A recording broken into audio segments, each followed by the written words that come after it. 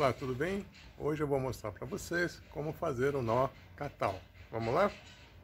Muito bem, pessoal. Então vamos aqui ao nosso nó catal. Esse nó normalmente é utilizado quando a gente tem uma corda muito comprida ou está com algum problema em algum pedaço da corda e quer anular esse pedaço com problema, tá? Então, primeira coisa, vamos dar uma puxada aqui no chicote ali para frente, tá? E nós vamos fazer aqui, olha, uma letra S.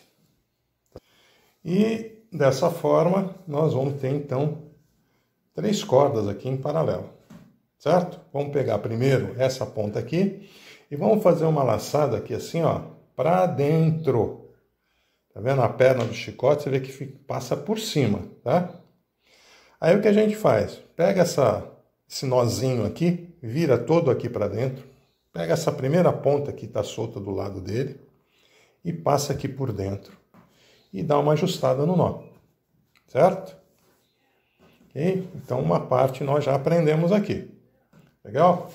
Aí, essa outra parte da corda, a gente faz a mesma coisa, faz uma laçadinha aqui para dentro, tá vendo aqui? A parte da corda vem e passa por cima. Aí pega essa outra ponta aqui que está sobrando, passa por dentro dessa laçada aqui, ó. E ajusta, ok? Puxou, tá feito aí o nó de catal ok?